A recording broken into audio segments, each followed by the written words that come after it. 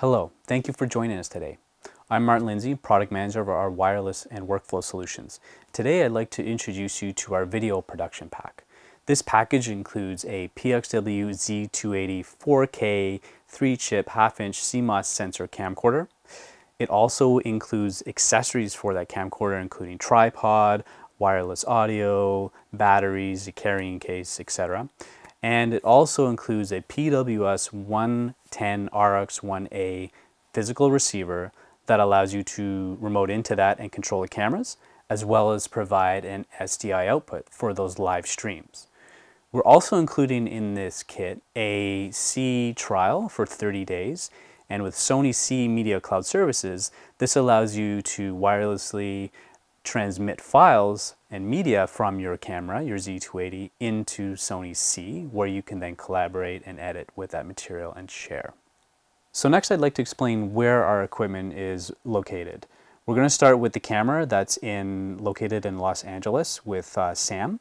Sam is going to be operating that camera today and we'll have some uh, interaction with him. We also have the PWS 110 RX1A located in Toronto that is in uh, Toronto, Canada, in actually uh, my basement right now. That receiver can essentially really be anywhere you want. It can be in a rack room somewhere or a uh, IT room. Uh, it doesn't really matter. It just needs to be wherever you need that SDI output to go if you do want to use that for live streams. So as I mentioned, the Z280 comes as a complete kit and Sam is now on site in LA where he's going to do a shoot. He's going to take the camera out, mount it on the tripod obviously insert the battery, connect his wireless audio to the multi-interface shoe on the top of the camera, and that allows dual channel audio. And he's also then going to connect to the network via any method he wants. And in Sam's case, he's going to plug in an LTE USB uh, modem, and that's going to allow him to connect to the cellular networks. Once that's done, he can call back to the producer, in this case me, and let the producer know that he's ready to shoot and have the producer verify the shot and do any minor uh, camera adjustments if required. Hello? Hello, Martin. How are you? This is Sam. Hey, Sam. How you doing? Great. I got the Z280 all connected and I have the uh, LTE dongle in, so it looks like I'm, I'm wireless and you should be seeing my camera. Awesome. Okay, so basically we were just logged into to our receiver, which allows us to have up to 30 cameras connected. Uh, in this case, we have two cameras, uh, both my camera and Sam's camera in California.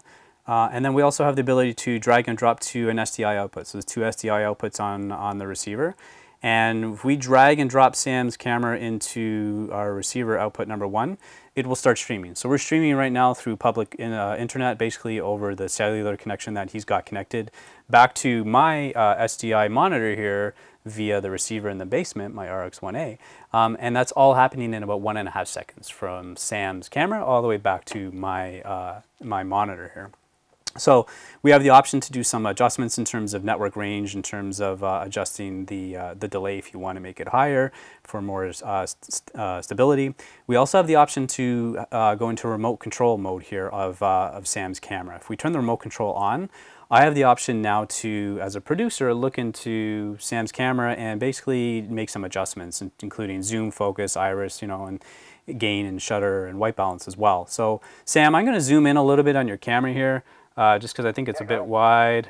Let's do a little bit of a zoom, maybe about there. Yeah, I think that looks pretty good. Your lighting looks good, so I, I think that's good enough to, to go with for a, a shot right now. So basically what I'm going to do is I'm going to start doing a, uh, a record start. Um, All right, go ahead. And, and then... I'll put the phone down and, and then do my line. Okay, perfect. So uh, let's so I'll, I'll start the recording and you'll see the tally light go. Hi, I'm Sam Ferris, and we're reporting to you live from Los Angeles, California at the DMPC. Awesome. So I'm going to stop the record now. With that, we have the option to go into the file transfer tab and click on the camera of our choice, in this uh, case Sam's camera. Uh, but before we do that, we're actually going to stop the stream so we can uh, prioritize the file transfers.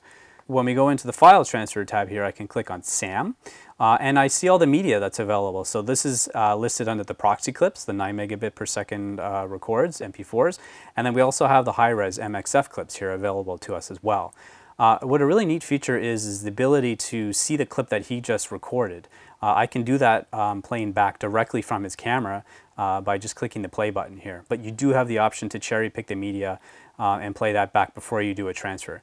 When you're ready to do a transfer, you just do an upload. So you click the upload button and you would be selected that you've selected that clip to do an upload to an FTP server that you had already set. In this case, I'm using Ci. So as you know, we are including a Sony Ci Media Cloud Services trial. Uh, with this uh, with this video production kit, and we're uploading now essentially directly from Sam's camera all the way to our Ci Cloud account, the file that Sam just recorded.